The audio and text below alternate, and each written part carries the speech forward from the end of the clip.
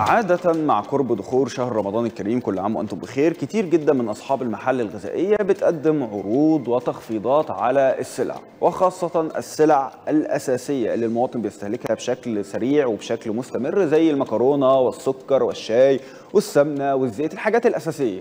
وأهمهم طبعا زي ما إحنا عارفين عندنا تحديدا في مصر هو الرز. اللي بقاله فترة بيثير الجدل بين المصريين وده بعد ارتفاع سعره في الأسواق ليصل ل 26 جنيه للكيلو.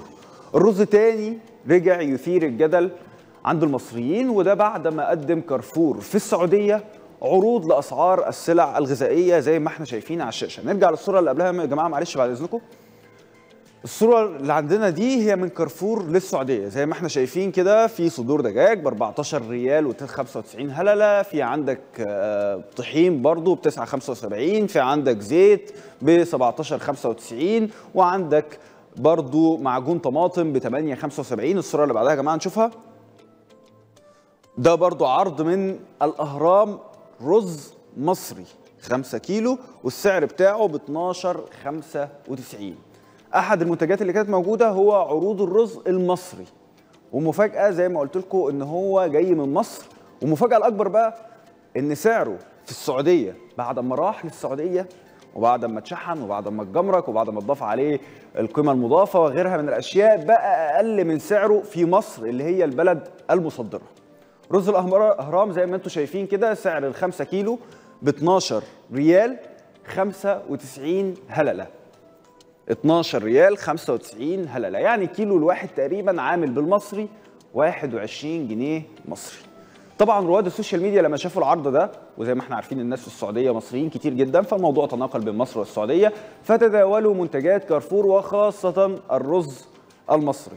وبدأت الناس توصف اللي بيحصل ده إن هو إعجاز اقتصادي. وسط حالة من الغضب زي مثلا ولاء.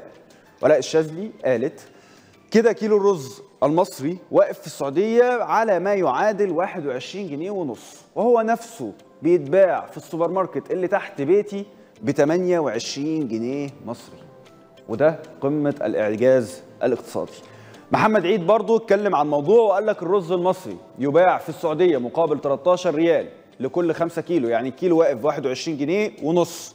وده بعد ما الرز سافر واتغرب ودفع جمارك ورسوم ونقل وشيل وحط وعمالة وضريبة لكن هنا في مصر بيبدأ من 25 و26 جنيه ومش متوفر. طب حد يسافر السعودية يا جماعة؟ يستورد لنا شوية رز من رزنا ويجي. أحمد سليمان برضو قال كارفور السعودية 5 كيلو الرز ب 13 ريال يعني ما يعادل 20 جنيه تقريبا للكيلو. وخد بالك إن ده رز مصري. وده سعر بيع للزبون. يعني مضاف نقل ومصاريف وربح المستورد والمورد من مصر وإحنا هنا في مصر الكيلو عندنا ب 28 جنيه. يا راجل صباح الفل. تعديل السعر كمان مضاف عليه ضريبة قيمة مضافة 15% على سعره اللي في السعودية. وليد جابر قال بيتباع بره البلد أرخص من البلد اللي زرعاه ومصدراه. دي مؤامرة ضد الشعب المصري. والله مش طبيعي اللي بيحصل فينا ده. بيبو شاف إن الموضوع غريب وقال الغريب بقى إن إحنا على الله حكايتنا ومصدقين إن الغلاء ده جاي من التاجر. وبنشغل دماغنا على بعض وناسيين إنها جاية من فوق قوي. غادة عبد الغني برضو قالت تقريبا بيصدروا كل حاجة دلوقتي عشان الدولار. ونموت إحنا من الجوع.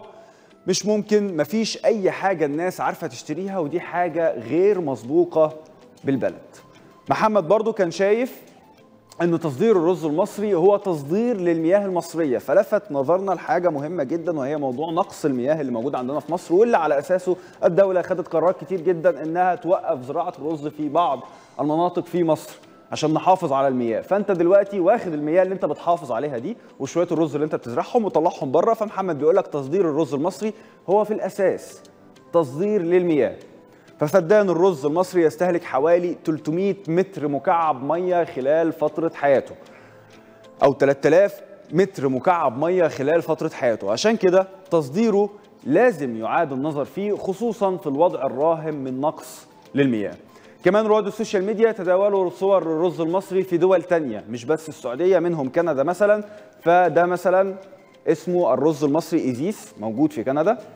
وفي عندك رز المصري أميرة موجود برضو في دول بره وعندك كمان الضحى وهو رز أبيض مصري اللي منتشر بره برضو واللي الناس بتقول إن برضو ما زالت أسعاره غريبة شوية غريبة شوية بالنسبة للرز اللي موجود في مصر. فتحي أبو خطاب برضو علق على الصور المتداولة دي وقال واضح إن الرز المصري هاجر للسعودية وكندا. آخر تعليق معانا كان شايف إن تصدير الرز المصري ما يختلفش ابدا عن تدمير صناعة الدواجن لتحقيق مكاسب شخصية لجنرالات العسكر.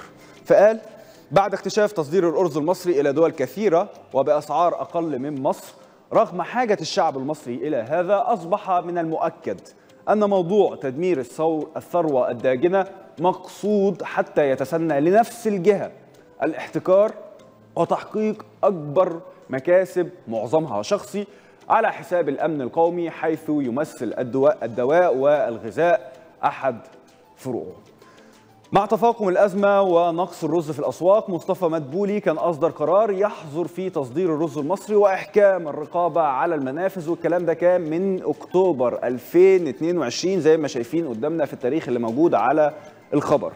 مين بقى المستفيد من تصدير الرز وليه الحكومة بتقول قرارات وبتنفذ عكسها؟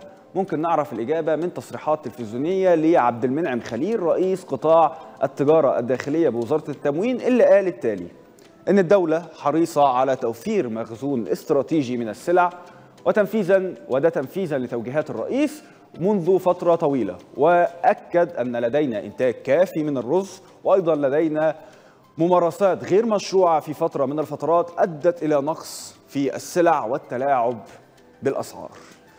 موضوع غريب جدا. فكرة إن الحاجة اللي طالعة من عندك تكون أرخص بعد ما طلعت وبعد ما سافرت ده بيعمل ألف سؤال عند المواطن المصري اللي لغاية دلوقتي مش فاهم إمتى الوضع هيتحسن وإمتى هنشوف ملامح الجمهورية الجديدة اللي دايما بيحكوا لنا عنها. فاصل ونرجع نكمل باقي فقرة